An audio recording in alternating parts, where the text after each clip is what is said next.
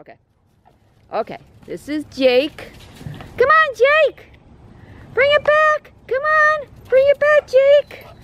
Bring it back! Now, before he dropped it at your feet, there he goes. Good boy. Now, this is Jake flying through the air. He's our athletic boy. He is a boxer lab mix. I think he's about 60 pounds. And he's 11 months old, so he's still a puppy. So he's got lots of puppy energy. Look at how cute he is, and he loves to play fetch. This would be a great way to just wear him out. You know, if you're if you don't want feel like taking a walk or something, just get a tennis racket and hit a tennis ball, and he'll just keep bringing it back to you. Yeah, that'd be great for him. Um, he's just been here a few days, and he's already met um, Pebbles and Gunner, and he's been doing great with them. He was having a pool party with Pebbles um, and Gunner yesterday, so he likes the pool if you want to get a little pool. He's so cute. Let me go take a look at him. Look at him. He's really cute. Let's just take a look at his face. Yeah, he's got, oh, look, he's got those lab ears, and he's got a white snout and white toes. You got white toes in the back, too? Yes. And he's very, very sweet, and he wants to play. Yes, he's very focused on that ball.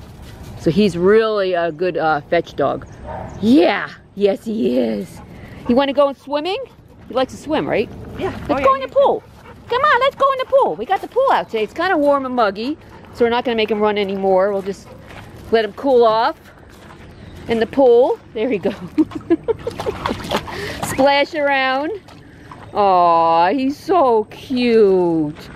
So anyway, like I said, he's only 11 months old, so he's still a big puppy. Look at that tail just going. He's very loving. Um, he rides well in the car. He's got a lot of, you know, puppy energy, which is just natural for his age.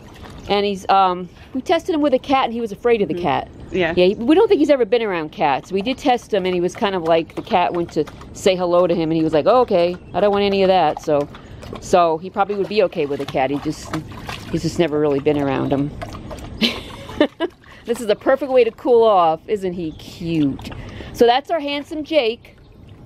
Thanks for watching, everyone. I think you really love this guy. He's a silly boy. He's being silly. He's like, I want to swim. It's not deep enough. Bye-bye.